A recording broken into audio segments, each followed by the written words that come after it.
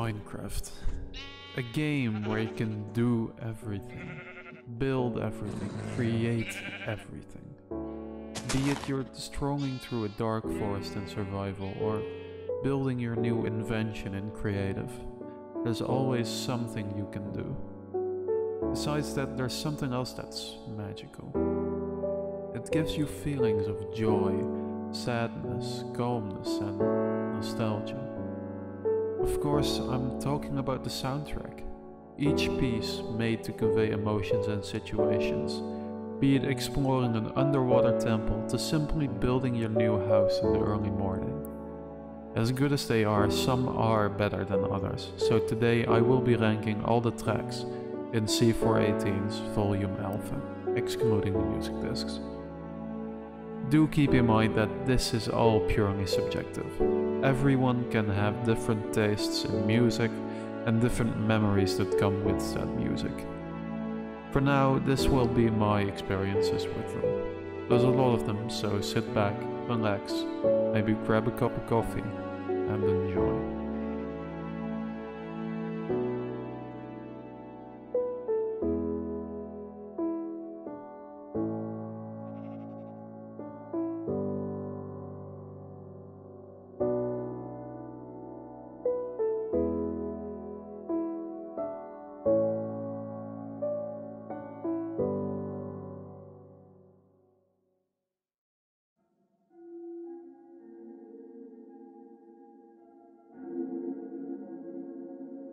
It's very echoey. A distant melody playing in the distance.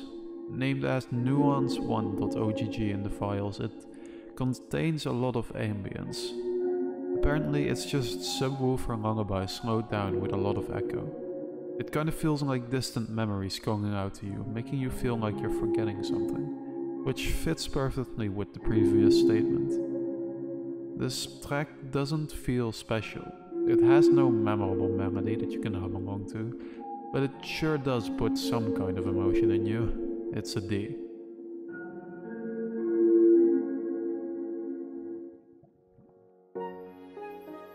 Next up, Door is a strange one. First of all, it sounds like a direct continuation of Key. If you listen to this directly after, you can barely guess Key already ended. Besides that, Door isn't even in the game anymore. I don't know what it was called in the game files, neither do I know when it would have played. The only description I can find about Door is quote unquote welcome. It's mysterious, but it sounds oddly cheerful and it has a nice tone to it. See you too.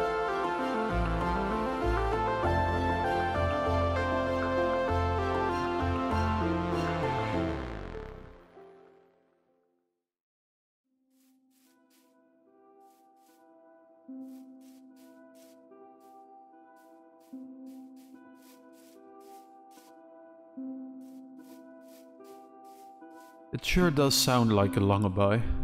C418 says he imagines this song playing on a subwoofer on overdrive somewhere in the distant forest.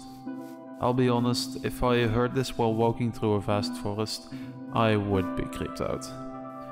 Besides the creepy thought put in my head, this song really does capture the feeling of strolling through a forest. Not lost, just walking. No clear goal that you're walking towards, just peaceful nature. With the amount of reverb, the melody slash lullaby and the description combined, I think it's a B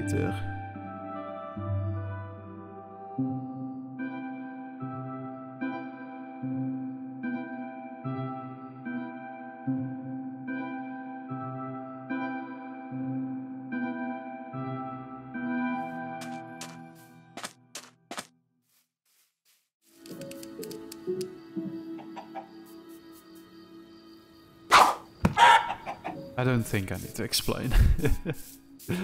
it's not in the game for obvious reasons, and I don't think I would want to hear it either way. F tier. Living Mice. It's exactly the opposite of deadmau5, you know? It's called hell2.ogg in the files and I would not have a single clue what hell means. I don't personally feel any certain emotion with Strike for some reason. I don't know, but it sounds alright. C tier.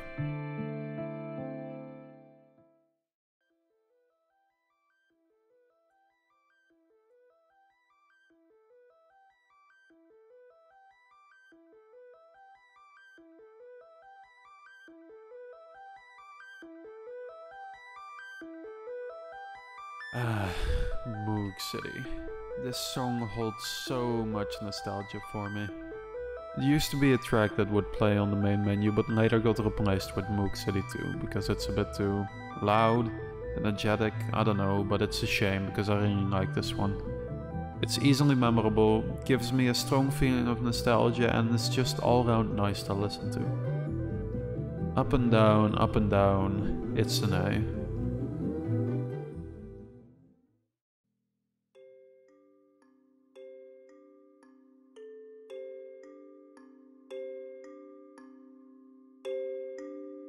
beautiful. The melody is so memorable and catchy. It sounds so innocent, giving me the feeling of simple, calm fun. Haggstrom was named after game soundtrack producer Mattias Häggström Gerdt, also known as Anneso. Playing around in Minecraft with your friends on a hot summer night, this track ringing makes me feel like I'm back at that time. So that's why it's an A tier. Sorry, but as good as it is, it's still missing something.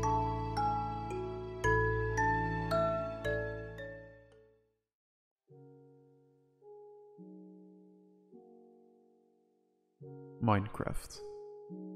It's the main theme. Calm, memorable, nostalgic, it has it all. That same bittersweet melody playing on repeat while the strings fade in in the background. The memory sealed within this one piece of music. Amazing. Besides that, I do feel like I need to say that it isn't perfect. Being the second longest track in the volume alpha while not moving from the same melody does get a little annoying after a while. That's why I think a B tier is a good fit.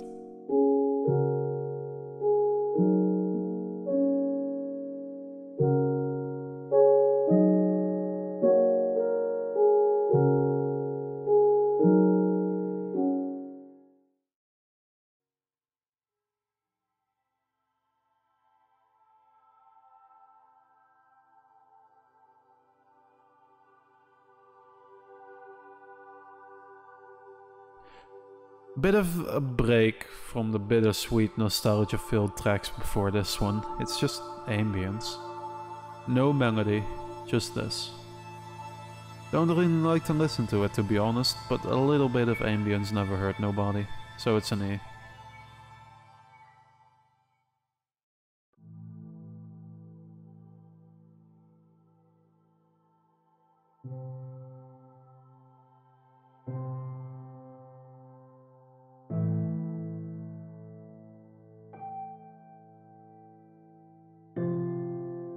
It sounds kind of sad. Like Minecraft, it's mostly just the same melody over and over again. Considering this is one of the shorter ones, I don't really mind all that much. It has a nice build up and like I said, it has a bit of a sad tone to it. I don't know. It's decent, but makes me a bit sad. See you there.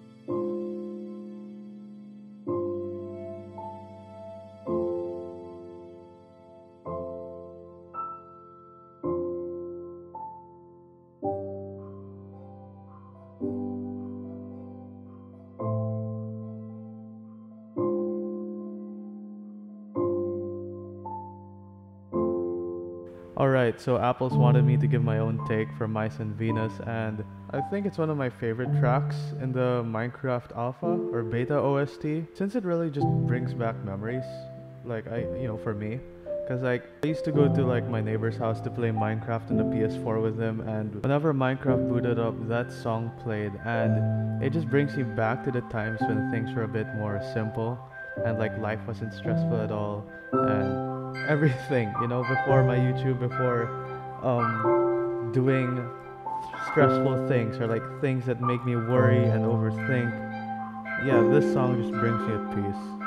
And I guess that's all I have to say.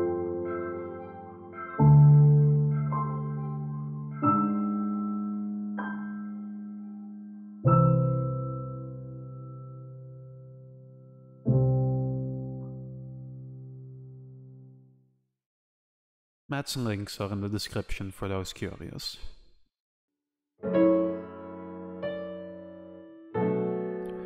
Named as piano1.ogg in the files, Dry Hands sure is that. A simple, short piano melody, nothing more and nothing less. I personally don't have much to say about it, but that differs per person I guess. Beat here.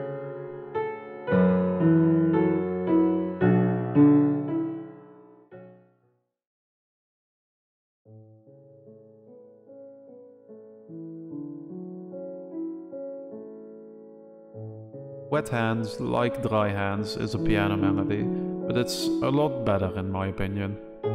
Bass notes that go up and down, the nice melody, my nostalgia with this song, it's good. Being another short and sweet one, it's a nice melody that can come on when you're just simply enjoying survival Minecraft, building your new house. It's really kind of a bummer that it's this short to be honest. S tier.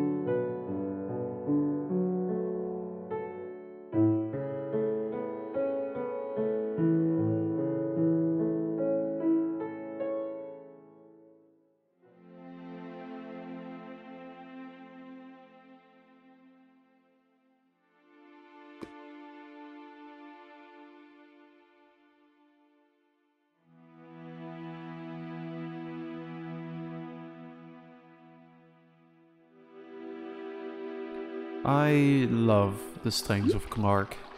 It fills me with such a nice feeling of calmness and peace. Although the melody itself isn't as memorable as the rest, it does give off a good vibe. Not much else to say about it to be honest. There's nothing exceptionally good, but also nothing bad. A tier.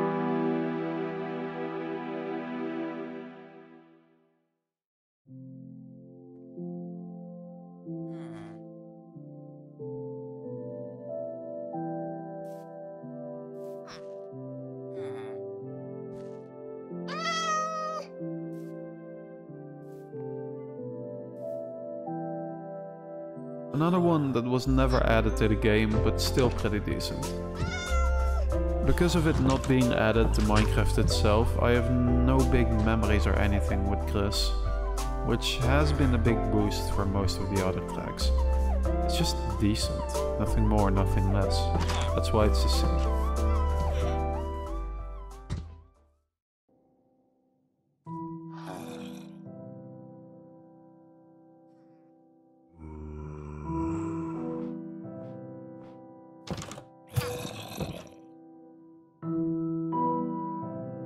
Excuse makes me feel lonely. Solitude, loneliness. The realization kicked in that you really are the only person in this world.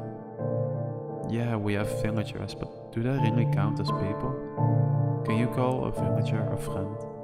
No. That's what this song makes me feel. And if it's not meant to do that, I don't know what it's meant for. Easy beat here.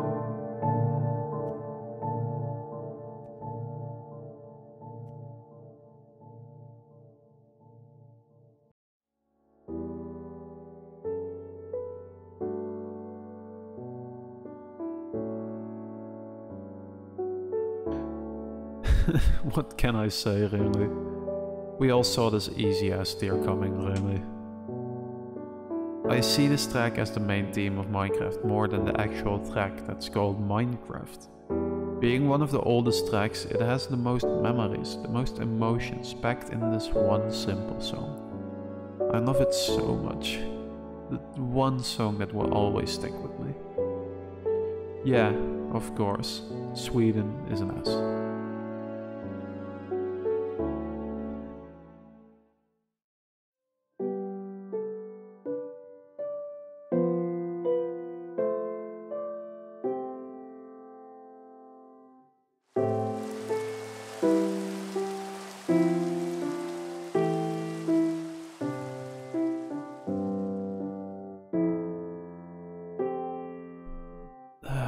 For me, this one is the most nostalgic. I used to play Minecraft on my dad's computer at my now dead grandma's house. Music on and enjoying life. Life was simple back then. At least simpler than now with the big sea going around. This song, or at least the first half of it, is stuck in my mind whenever I'm just calmly playing Minecraft.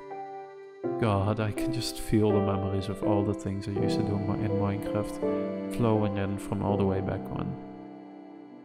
S tier.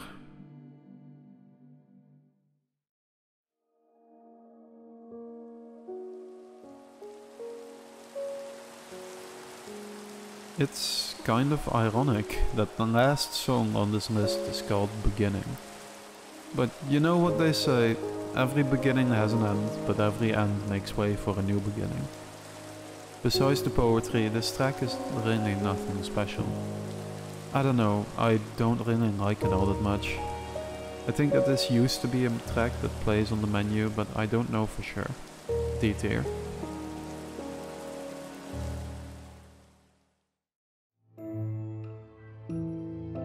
And that's it. That's most of the tracks on Volume Alpha, excluding the music discs and that.